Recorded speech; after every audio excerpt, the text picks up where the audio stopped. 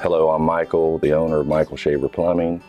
We started our company in 2012. I used to work for a larger company and I found that I wanted to be more customer oriented and closer to the customers, so we opened up our own business.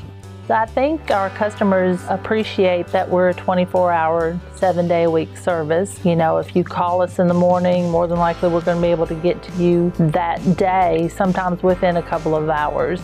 If your water's not running or if your toilet's backed up, you want someone out there pretty quick to get your issue taken care of.